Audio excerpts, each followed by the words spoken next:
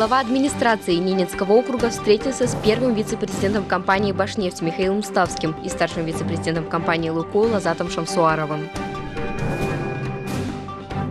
Игорь Кошин и генеральный директор общества «Башнефть Полюс» подписали протокол к соглашению о сотрудничестве. Впервые в истории подписание прошло непосредственно на месторождении.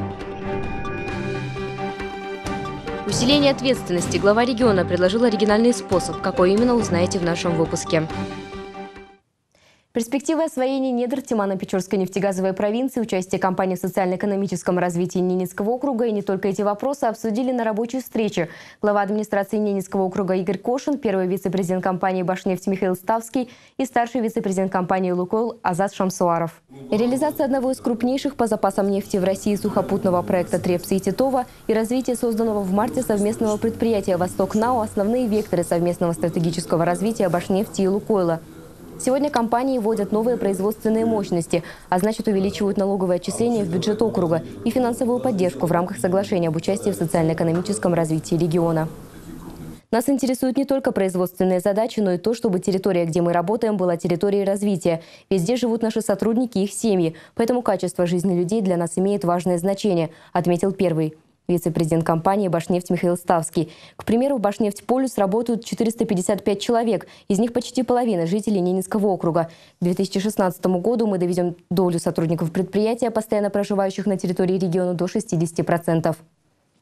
А компания «Лукойл» осенью намерена представить новую программу развития, в которой Ненецкому округу будет отведена существенная роль. В настоящее время готовится к подписанию новое соглашение о сотрудничестве между администрацией округа и нефтяной компанией, которая будет действовать в течение пяти лет. В свою очередь Игорь Кошин заверил партнеров в том, что власти округа заинтересованы в скорейшем развитии нефтяных проектов, создании нефтегазовой и транспортной инфраструктуры, а также в активном участии недропользователей в стратегически важных для округа сферах.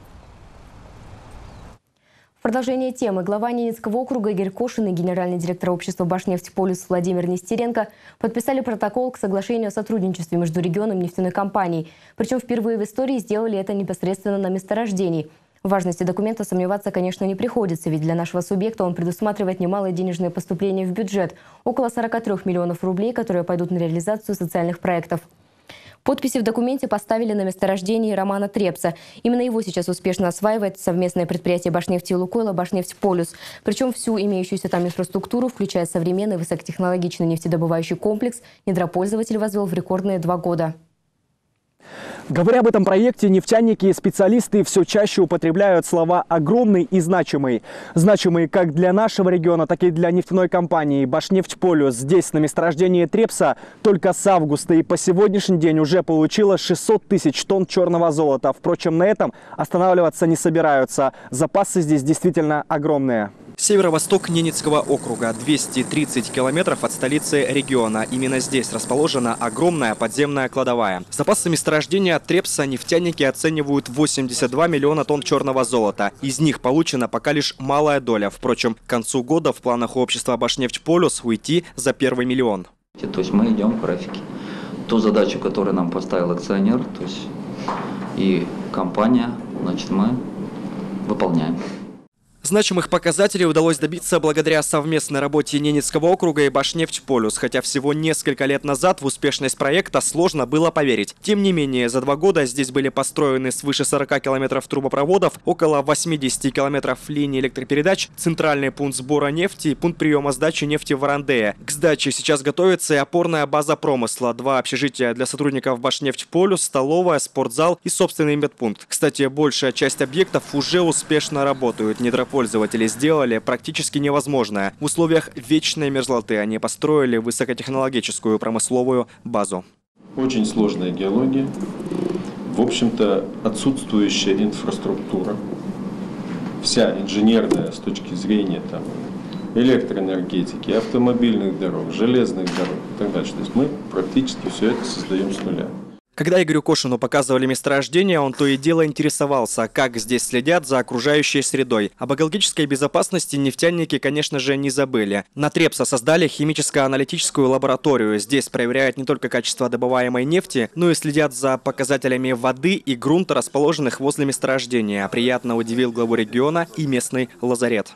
Имеется у нас эм, значит, аппарат электрокардиограммы, имеется аппарат дефибриллятор, имеется ИВЛ, э, запас медикаментов, необходимых для оказания экстренной помощи.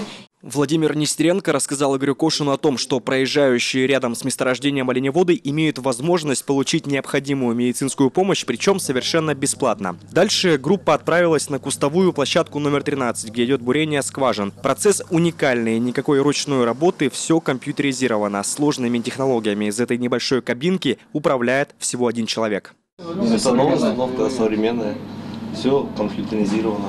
Все ушли. Сработается великолепно. Великолепно. Завершилась экскурсия по месторождению Трепса пресс-подходом. Журналистов, их здесь собралось десяток, интересовали различные вопросы. Но один, пожалуй, из главных, какое между округом и нефтяниками будет дальнейшее сотрудничество. Ответ был краток, дружественным и полезным для обеих сторон. Башнефть-Полюс, помимо налоговых вложений, продолжит выделять деньги на благотворительность. К слову, нефтяная компания за два года уже вложила безвозмездно на эти цели 115 миллионов рублей. В свою очередь, Игорь Кошин поблагодарил общество Башнефть-Полюс за конструктивные отношения и хорошие показатели в нефтяной сфере, которые благоприятно сказываются на бюджете Ненецкого округа. Это значительная прибавка в бюджет Ненецкого автономного округа, бюджет Архангельской области и бюджет Российской Федерации. Очень приятно осознавать, что компания помимо э, прямых налоговых платежей участвует еще в социально-экономическом развитии, участвует э, в развитии нашего округа э, дополнительными платежами. Выход проекта «Башнефть-Полюс» на стабильный уровень добычи ожидается к 2020 году. Тогда на месторождении Трепса и соседнем Титова будут ежегодно добывать почти 5 миллионов тонн нефти. Для сравнения, в позапрошлом году добыча всей нефти на территории Ненецкого округа составила около 13 миллионов тонн. Олег Танзейский, Александр Дуркин, телеканал «Север», месторождение имени Романа Трепса.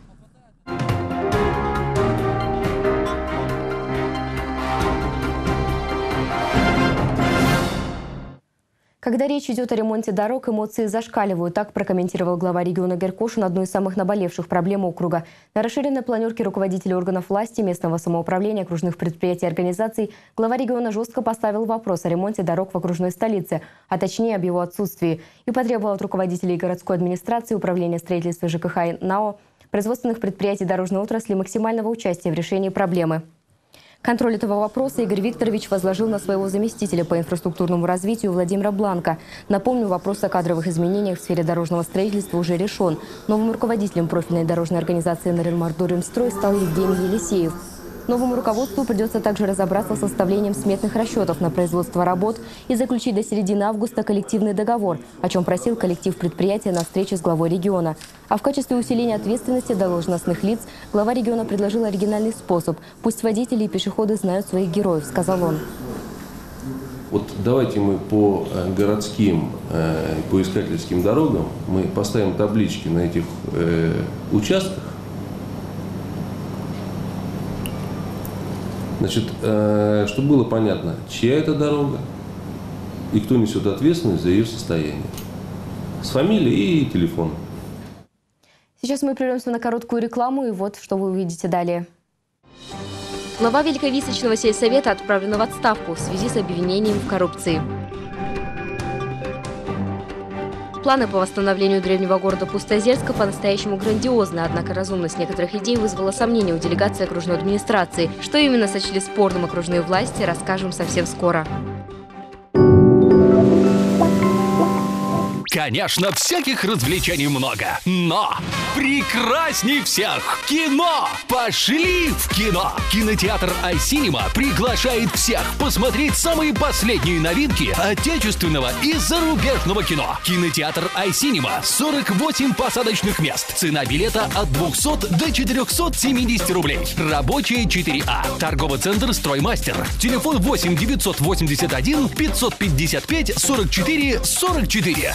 Акция для рекламодателей «Лето на севере». Получите 90 выходов вашей рекламы на телеканале «Север» всего за 10 тысяч рублей. Уникальное предложение. Срок проведения акции до 31 июля 2014 года. Расскажите о своих товарах и услугах. Не упустите свой шанс. Подробности по телефону 217 17. Мы продолжаем выпуск. Обвинили в коррупции. Глава Великовисочного сельсовета Екатерина Панькова отправлена в отставку. Такое решение накануне приняли депутаты сельского совета большинством голосов. 9 из 10 народных избранников проголосовали за отстранение действующего главы от должности. На селекторном совещании с главами муниципалитетов Екатерина Панькова отчиталась об обстановке в селе и попрощалась с коллегами. Значит, хочу сказать, что населению разводится уголь. Кто уголь, дрова поступили в полном объеме, горюче-смазочные материалы тоже. У меня все. А когда у вас сессия, Ксения Петровна? Сегодня. Сегодня сессия? 11 часов. Мгм. Да. Будет- Хочу попрощаться со всеми с вами и пожелать вам Значит, успешной На очередной сессии Великовисочного сельсовета присутствовали представители прокуратуры Ненецкого округа, администрации Заполярного района, старосты пяти поселений, входящих в состав муниципального образования и жителей села. Поводом для вынесения такого решения стали результаты проведенной прокуратурой Ненецкого округа проверки. По ее результатам были выявлены нарушения законодательства о противодействии коррупции. В частности, глава муниципалитета нарушила требования статьи 13 Федерального закона о муниципальной службе в Российской Федерации.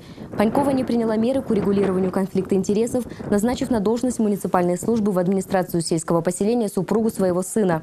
Досрочные выборы главы муниципального образования Великовисочный сельсовет планируется провести в единый день голосования 14 сентября. В этот же день жителям Хасидахарского сельсовета предстоит избрать нового главу муниципального образования.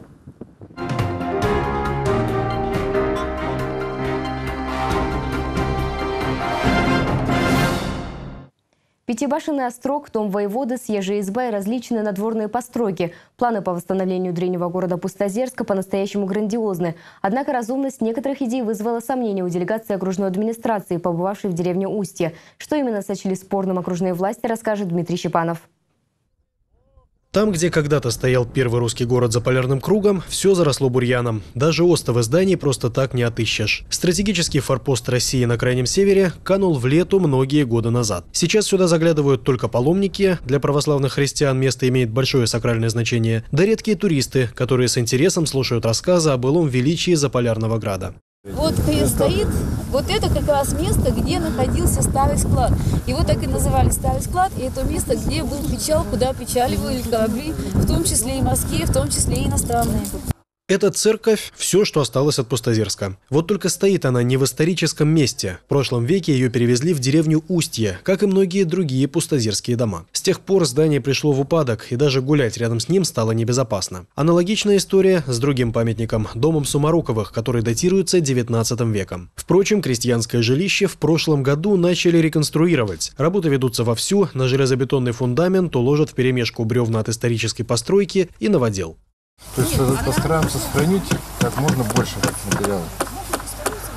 То есть вот с- с- сами детали дома. То есть, Вы же не будете все равно, блядь, гнилые бревна сюда конечно, вырезаются одни, А, меняются. то есть вставляете. Вот только историческая ценность такого объекта – вопрос спорный. По проекту новых бревен будет больше половины, да и бетонных конструкций в фундаменте крестьянин Сумароков не использовал. Еще больше вопросов вызывают планы по строительству Пустозерского острога. Планировалось, что это будет музей под открытым небом, крепость, воссозданная по технологиям 16 века. Но вот беда – строить в самом Пустозерске нельзя ничего. Это памятник археологии федерального значения. Ну вот, и решено было сделать в деревне Устье, потому что это все-таки недалеко от Пустозерска. Пустозерск всегда был таким привлекательным объектом, люди все равно едут. И у нас было, ну как бы было такое решение, что все сделать в деревне Устье в некотором удалении от Пустозерска. С позиции исторической ставить острог в Устье, Шойне или на площади Ленина в Наринмаре разницы никакой. При этом содержание комплекса в удаленной деревне влетит в копеечку, да и туристов туда поедет не так много. В связи с этим окружные власти задают вопрос, целесообразно ли содержать восстановленный Пустозерск в 20 километрах от города, или стоит его немного подвинуть, поближе к туристам и коммунальной инфраструктуре. Ответить на него предстоит финансистам, историкам и в первую очередь общественности. Дмитрий Щепанов, Александр Дуркин, телеканал «Север». Торжественные мероприятия, посвященные Всероссийскому дню семьи, любви и верности, прошли в Наринмаре. Центр поддержки молодежных инициатив организовал акцию на улицах нашего города, а в культурно-деловом центре «Арктика» состоялся праздничный концерт. Что для вас значит любовь? На такой вопрос предлагали ответить жителям города активисты Центра поддержки молодежных инициатив. Свой ответ на Ренмарсы должны были записать на древо любви, используя всего одно слово. Одним словом, да? Да, можно одним словом. Семья – самое ценное, что есть в жизни, уверены гости нашего города, семья Ирининых. Одним словом, сложно описать такое большое чувство, как любовь, говорит супружеская пара. Слов много, и все они важные. Люди, чтобы не забывали заботиться и не забывали те моменты, когда они жили, ну, когда только начинали жить вместе. То есть, чтобы этот период у них не перерастал в что-то другое такое вот. Какое-то просто совместное существование возможно, Да. чтобы они поняли, что, что они семья и всегда к друг другу относились, ценили, как в первый день, как в середине жизни, как в конце и всегда. Для молодой семьи Котовых любовь значит дети. Совсем недавно в их семье произошло радостное событие. На свет появился первенец. Сейчас сын для молодых людей – главный человек в жизни. Наверное, должны быть такие праздники, где, ну, где обсуждаются такие темы, как семья. Потому что мы сами вот недавно стали родителями и понимаем, что у нас теперь уже своя семья Да, есть. своя семья. Вот. Полноценная. Да, И мы очень счастливы, что у нас есть вот это маленькое чудо. Пропаганда семейных ценностей среди молодежи – основная идея мероприятия. Центр поддержки молодежных инициатив Ненецкого округа, неизменный организатор акции, проводит ее в Наринмаре второй раз. Э, Главной нашей целью э, этой акции мы преследуем, безусловно, популяризацию семейных отношений, то, чтобы семьи понимали, что семья это действительно важно, и, э, безусловно, создавали крепкие, дружные и любящие друг друга семьи. Крепкие, дружные и проверенные временем семьи чествовали в этот день в культурно-деловом центре «Арктика». 14 семейных пар нашего округа, прожившие в мире и согласии более 25 лет, получили почетные медали за любовь и семейную верность. Праздник семьи, любви и верности, наверное, хотя и самый молодой такой праздник да, в нашей стране, но я считаю, что очень важный праздник.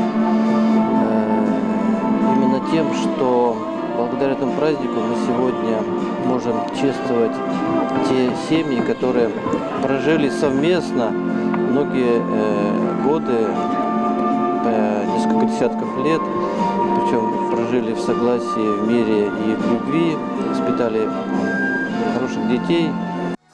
Уже 39 лет живут в мире и согласии семья Усатовых. Познакомились Людмила и Николай в Мурманской области, в городе Апатиты, откуда родом Людмила. Во время военной службы Николай повстречал Людмилу, и между молодыми людьми возникли светлые чувства, которые они хранят уже 4 десятилетия. Основой крепкого союза Усатовы считают любовь и взаимоуважение. Уступать друг другу Да, всегда, идти уступать. навстречу, понимать друг друга. Когда всегда как-то было взаимопонимание, мы всегда были всегда все вместе. Ну, что бы ни делали, все вместе. Едем куда-то, все вместе. На снегоходе едем вместе, на лодке вместе, даже на рыбалку ездим вместе. По Так ягоды что- вместе, Да, по ягоды вместе. вместе, в баню вместе.